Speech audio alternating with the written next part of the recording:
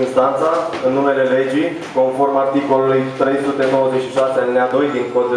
Codul de Procedură Penală, condamnă pe inculpatul Angel Lucian, în baza articolului 360 alinea 2 Cod Penal, pentru săvârșirea infracțiunii de acces ilegal la un sistem informatic la 2 ani închisoare. În baza articolului 207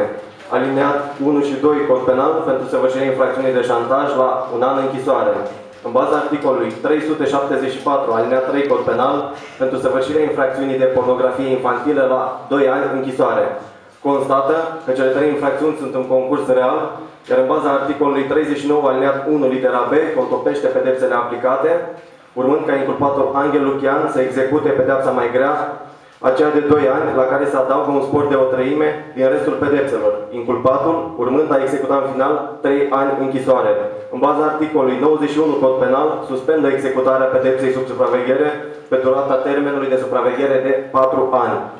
De asemenea, conform articolului 396 alineat 2 din Cod de Procedură Penală, condamnă pe inculpata Pascu Bianca în baza articolului 360 alineat 2 cod penal pentru săvârșirea infracțiunii de acces ilegal la un sistem informatic la un an închisoare. În baza articolului 207 alineat 1 și 2 cod penal pentru săvârșirea infracțiunii de șantaj la un an și 8 luni închisoare.